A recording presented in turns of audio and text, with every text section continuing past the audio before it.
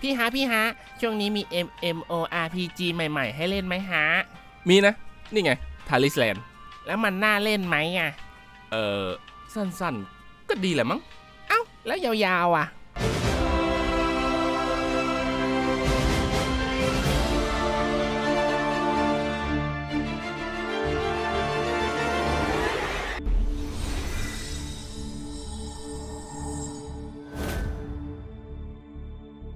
สวัสดีครับ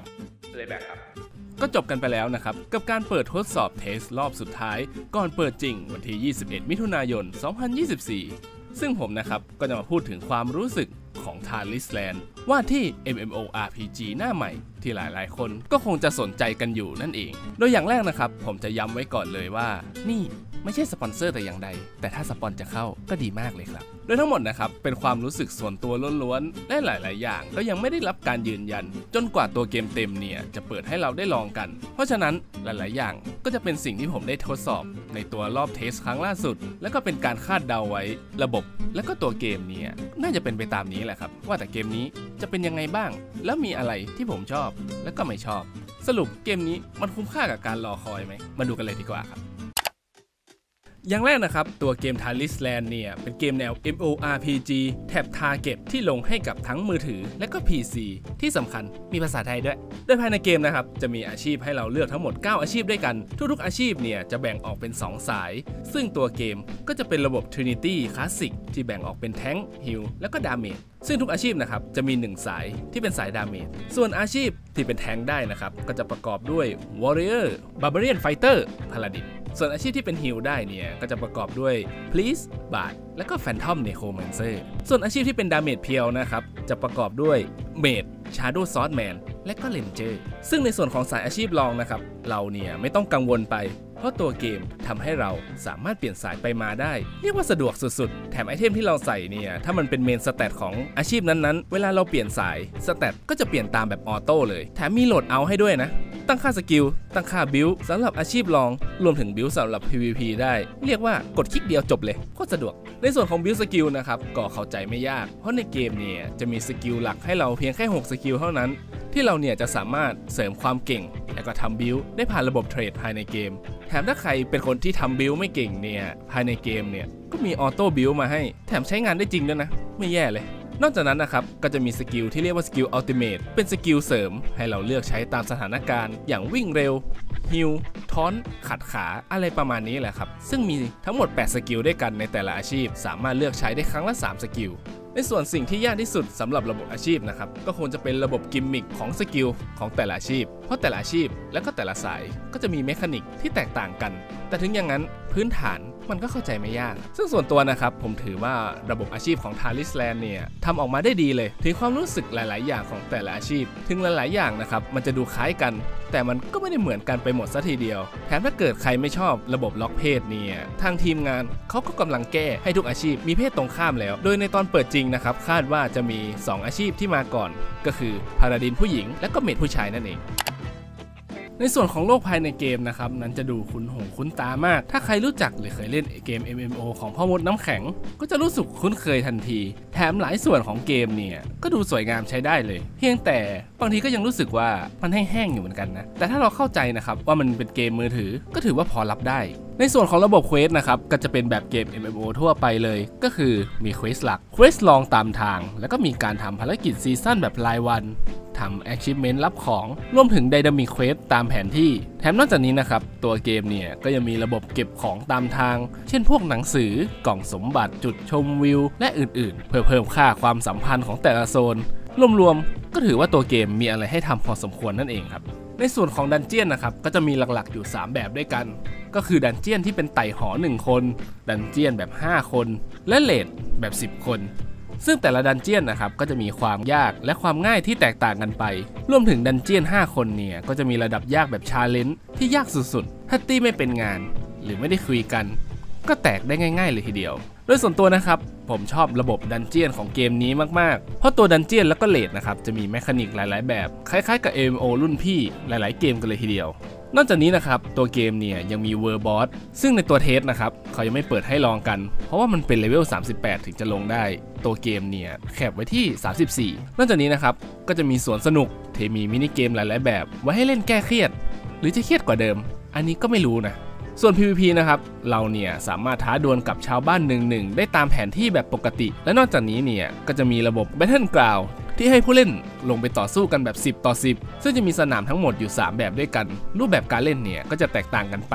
โดยส่วนตัวนะครับ ผมเล่น Battleground ไปไม่เยอะเพราะว่าคิวหาห้องไม่ค่อยเจอคนเท่าไหร่ แต่รวมๆก็ถือว่าสนุกดี จะมีปัญหาอย่างเดียวก็คือตัว Battleground เนี่ยจะมีการจำกัดเวลาให้เราลงได้ช่วง 10 โมงถึงเที่ยงคืนเท่านั้น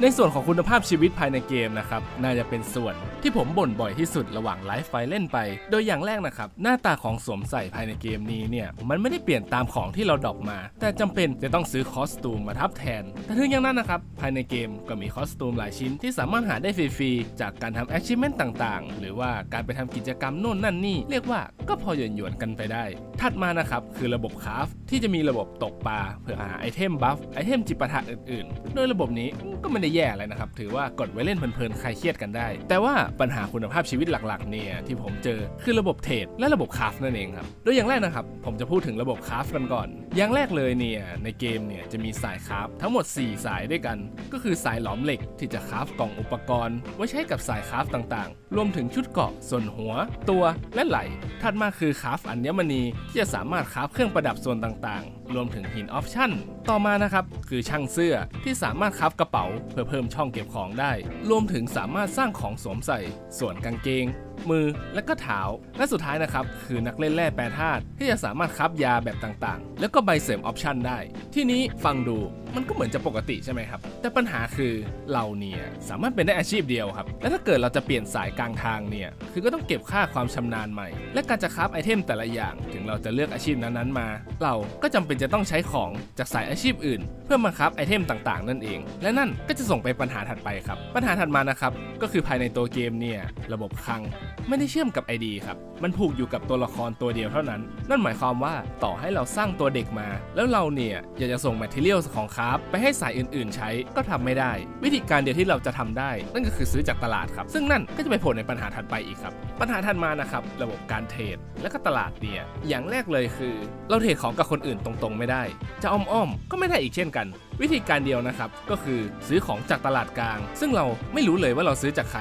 และก็ไม่มีตัวเลือกราคาให้เราเลือกด้วย แถมภายในเกมก็จะใช้โก ในการซื้อของจากตลาด ซึ่งโกนะครับจะสามารถหาได้จากเควสรายวัน และรางวัลความสำเร็จ หรืออีเวนต์นิดๆหน่อยๆรวมถึงขายของกับคนอื่นด้วย ซึ่งผมลองคำนวณดูแล้วเนี่ย วันแรกถ้าเราไม่ขายของอะไรเลย เราน่าจะได้ประมาณ 1,000 โก ซึ่งถ้าเกิดเพื่อนๆสงสัยนะครับอ้าวแล้วถ้าเงินขาดแล้วอยากได้โกทำยังไง ก็ฟาดเงินจริงเข้าไปเลยสิครับจบ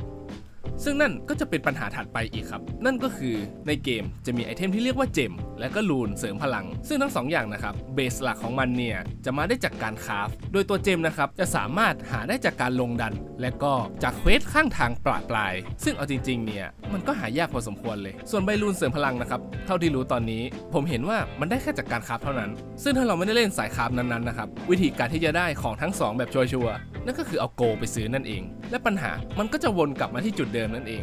ว่าถ้าเกิดเรามีโกน้อย แล้วใน 1 วันได้โกจากเดลี่แค่วันละ 100 การที่เราจะเสริมพลัง แล้วก็ใส่เจมเข้าไปได้ เราก็จะต้องหาโกจากการเปลี่ยนเงินจริงมาเป็นโกนั่นเองครับ แต่อย่างไรก็ตามนะครับ ถึงมันจะดูเหมือนปัญหา pay to win แต่ถ้าเราหลับตาข้างหนึ่งเอาจริง ๆ แล้วเนี่ย ตัว gem มันสามารถถอดแล้วก็ใส่ไอเทมชิ้นใหม่ได้ ก็เรียกว่าซื้อครั้งเดียวก็จบก็ได้ ถ้าไม่ติดว่ามันมีหลายระดับอะนะส่วน rune ก็เช่นเดียวกันครับ นอกจากนี้นะครับไอเทมภายในเกมเนี่ย ถึงแม้ของที่ขายเนี่ย จะมีการสุ่ม stat แต่ว่าถ้าเกิด stat ที่สุ่มออกมานั้น เป็น stat หลักก็ถือว่าโอเค เพราะว่าเวลาเราเปลี่ยนสายไปมานะครับ ตัว stat มันก็จะหมุนไปมานั่นเอง ไม่ได้ค่อยมีปัญหาอะไรเท่าไหร่ ส่วนตัวนะครับถ้าจะให้แนะนำว่าช่วงแรกเนี่ยเราจะแก้ปัญหาเงินขาดยังไง ใครที่ไม่อยากเป็นสายค้าแบบจริงจังก็แค่เอาแต้ม stamina craft ไปเก็บแร่ craft เป็นวัตถุดิบหลัก แล้วก็โยนลงตลาดจบ แต่ถึงอย่างนั้นนะครับ ถึงมันจะมีวิธีการแก้ปัญหาแบบที่ผมบอก และมันอาจจะใช้ได้จริง หรืออาจจะใช้ไม่ได้จริง ยังไงภาพรวมมันก็ดูไม่ค่อยน่ารักอยู่ดี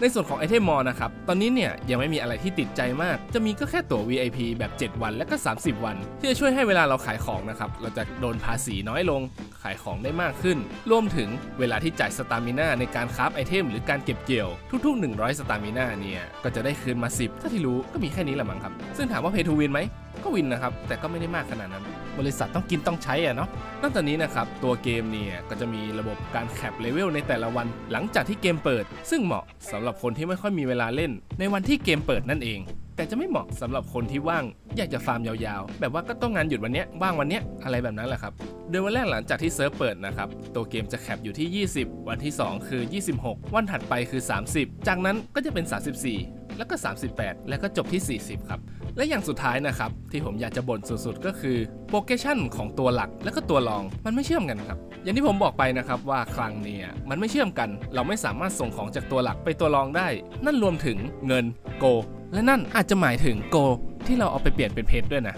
ทุกอย่างแยกกันหมดเลย collectible ต่างๆ ตามแมปที่เราไปเก็บแล้วเนี่ย ก็แยกเหมือนกัน ค่าความสัมพันธ์ของแต่ละแมปก็ด้วย ก็คือเล่นตัวใหม่ ก็เหมือนเล่น ID ใหม่นั่นเอง ถ้าเกิดทีมงาน Tarisland ได้ดูตรงนี้นะครับ แก้ให้ผมหน่อยเถอะ please สรุปนะครับด้วยส่วนตัวนะครับจากการที่ได้ test มา ผมมองว่า gameplay หลังๆเนี่ยจะเหมาะกับสาย PC มากกว่า แต่ progression และคุณภาพชีวิต มันก็ให้ความรู้สึกของเกมมือถืออยู่ดี ซึ่งเอาจริงๆผมก็อยากให้เรามองว่า Tarisland เนี่ยเป็น MMO มือถือ ไม่ใช่ MMO PC ไปเลย ก็คงจะรู้สึกดีกว่านะครับใช้เล่นเป็นเกมรองได้เพลินๆไม่เสียหายอะไร เพราะว่า content ในแต่ละวันใช้เวลาไม่กี่ชั่วโมง ก็จบและเหมาะสำหรับคนที่ช่วงนี้เซียน MMORPG แต่ไม่มีเกมเล่น ก็ถือว่าดีนะลงดันต่างๆ ก็สนุกดีด้วย PVP ก็ไม่แย่มันจะติดก็แต่คุณภาพชีวิตหลาย ๆ อย่าง ที่ผมบอกไปนั่นแหละครับ แต่สุดท้ายนะครับถ้าเพื่อน ๆ เล่นแบบไม่ใจร้อน หรือต้องโหดทันที หรือไม่ใช่คนขี้บ่นจุกจิกคิดอะไรเยอะแบบผมเนี่ย หรือรู้สึกเฉย ๆ กับอะไรที่ผมบ่นไป เอาจริง ๆ เนี่ย มันก็เป็นเกมที่สนุกนะครับ ยังไงซะทาริแลนด์ก็ไม่ได้เป็นเกมที่แย่ครับ ถ้าวันที่ 21 ไม่มีธุระอะไร ไม่ติดว่าจะต้องเล่น DLC ของ Elden Ring ก็ลองมาเล่นกันดูได้นะครับ ก็เพลิน ๆ ดี ไม่ถึงกับ The Best แต่ก็เล่นได้ ยังไงซะก็เจอกันวันที่ 21 ครับ ใครเจอผมในเกมก็แวะมาทักทายกันได้ หรือจะแวะมาทักทายกันตอนที่ผมไลฟ์วันที่ 21 ก็ได้ ไม่ว่ากันครับ ใครคิดเห็นยังไง หรือไม่ชอบใจยังไง เห็นต่างยังไง ก็ลองคอมเมนต์กันมาดูครับ แต่อย่าด่ากันแรงนะสำนึกไม่เคยทันหรอกขอบคุณครับ สุดท้ายนะครับ ใครชอบคลิปนี้ อยากจะสนับสนุนช่องนี้